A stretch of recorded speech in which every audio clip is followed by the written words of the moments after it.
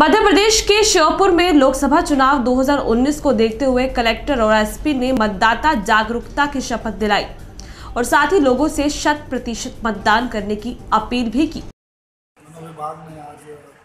लोकसभा निर्वाचन के मद्देनज़र मतदाता जागरूकता अभियान के अंतर्गत बड़ी संख्या में आज आंगनबाड़ी कार्यकर्ता सहायिका और हमारी आशा कार्यकर्ता पर उपस्थित हुए पूरे शहर में और निकाली और एक संदेश लोगों में दिया है कि मतदान करना कितना ज़रूरी है और मतदान करने की